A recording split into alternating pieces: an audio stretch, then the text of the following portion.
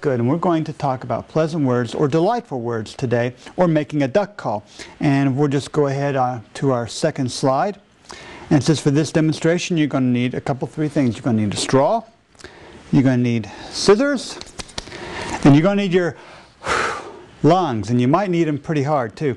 So what we're going to do, and uh, it shows on slide number three, you're going to take a straw and you're going to flatten this straw out really, really flat. Now if it's a plastic straw like these that want to spring back, it's going to be a little harder. But you're going to flatten this out and then you're going to cut a V into it like it shows in the picture. You see it there? We're going to flatten it out and you're going to put it in your mouth and you're going to blow hard and you're going to make a duck call. Now I've already tried this and somewhere deep in the recesses of this pocket I've made two.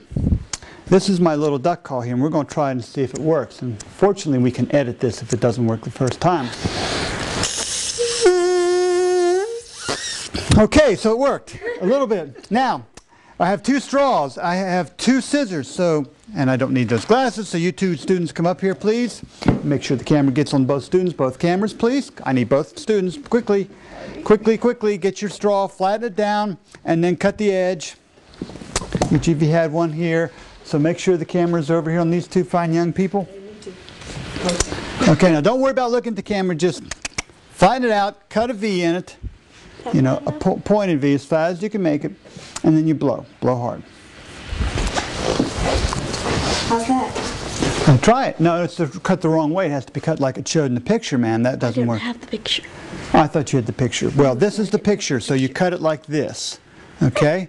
So you cut, recut again. Just cut the edge of this one again. Yeah. Okay, go ahead now. Our comrades are going to make noise here. Go ahead, go for it. Yes, yes, all right.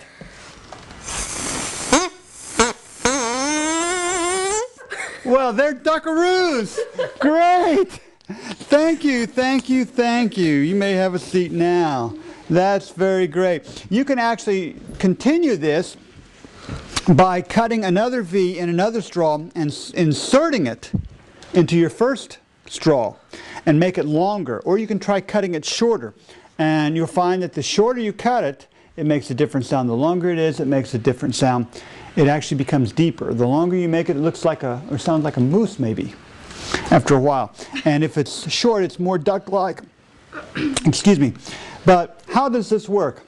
In slide number five. It says, you all see sound comes from vibration. That little triangle that you cut into the straw forced the two pieces of the point to vibrate very fast against each other when you blew through the straw. Those vibrations from your breath going through the straw created the strange duck-like sound that you heard. And now you'll never be bored again when you go to a restaurant and you have straws around. but let's talk about this. Our words are more than just air passed through our vocal cords, though, right? Isn't that right? And in uh, Proverbs chapter 25, verse 11, it says that God wants our words to be beautiful like apples of gold in baskets of silver. And that's the revised version translation that. But we have a little picture here. And this little picture shows a little, a little basket of silver. It's been done by cardboard by children. And it says like apples of gold in silver settings. So is a word spoken at the right time. And in the little basket they have apples. And the little gold apples say, may I, sorry, thank you, please, excuse me. These are all good words. In slide number seven, though, we are also encouraged to speak encouraging words. In Proverbs 16:24, and here we see a picture of the honeycomb and some honey, beautiful honey.